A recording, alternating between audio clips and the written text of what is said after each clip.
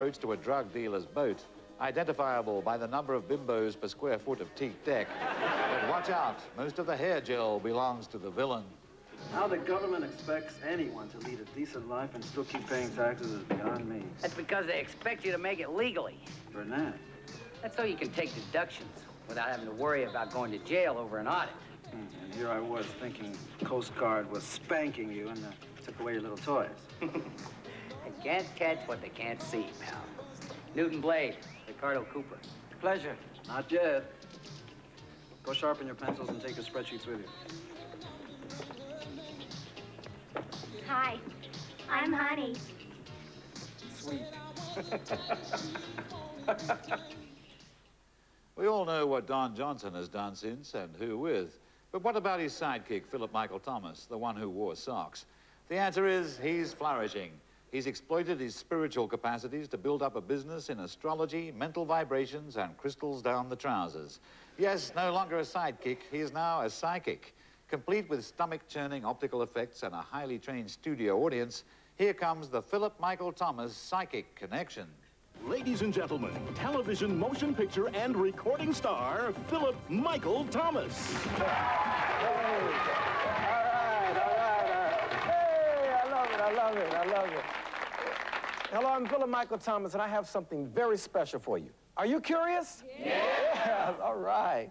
Well, every day, opportunities for love, money, and happiness pass us by. Doors open and close, and we don't even know why.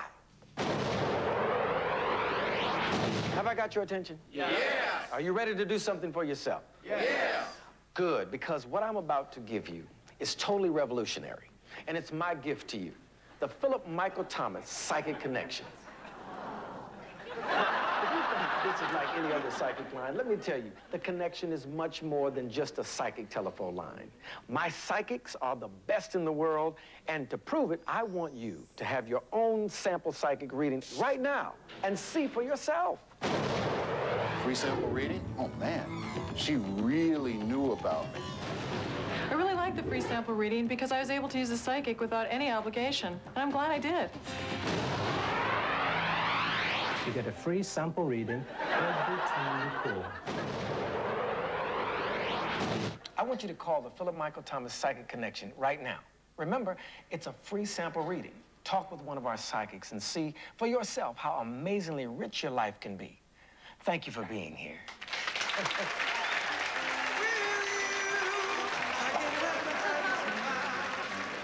Surely, Philip Michael Thomas is evidence that there really is such a thing as the supernatural. Hasn't he proved that life is possible after the death of a primetime television series? Let's find out as we go by satellite to Miami and say, can you hear me, Philip Michael Thomas? Uh, yes, Clive James, I hear you loud and clear. Philip, we've just been watching a scene from Miami Vice, and it was a reminder of just what a huge hit that show was. Uh, absolutely. Uh, it was one of those kind of television shows that ushered the golden age of television into the platinum age. Uh, I think that we had, uh, the timing was incredible, the technology was fantastic, the talent was fantastic, and it just catapulted television into another dimension. And what was the key to your character, Tubbs? Well, the key to my character? I don't know. There were several keys, but I think the one key was the name Tubbs, T-U-B-B-S. He was tough, unique, bad, bodacious, and sassy. You must miss it. What do you miss most? Well, Clive, you know, I really miss saying, freeze, Miami Vice.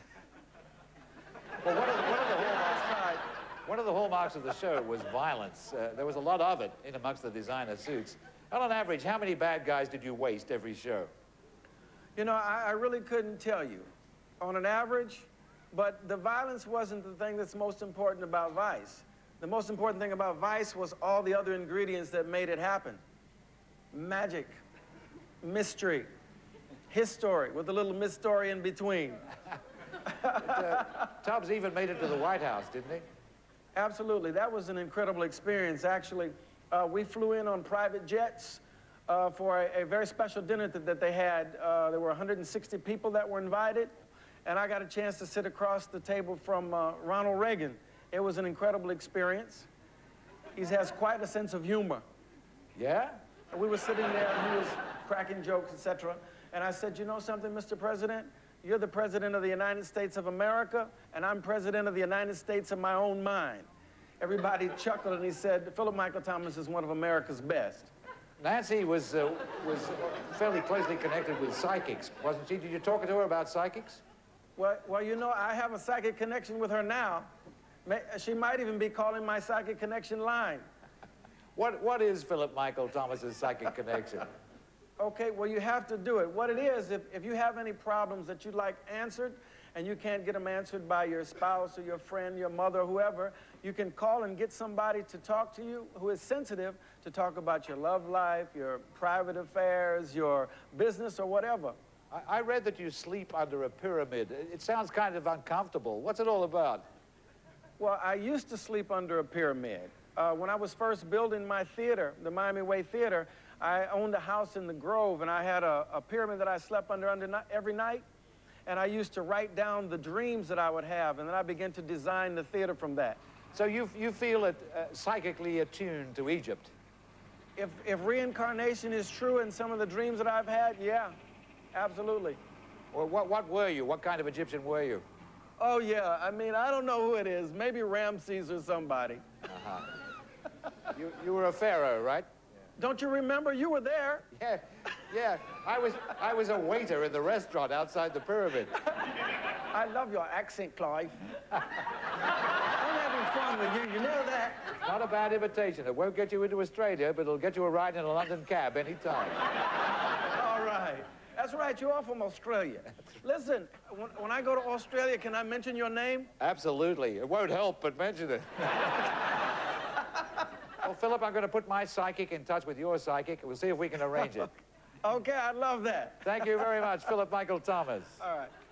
Free and free.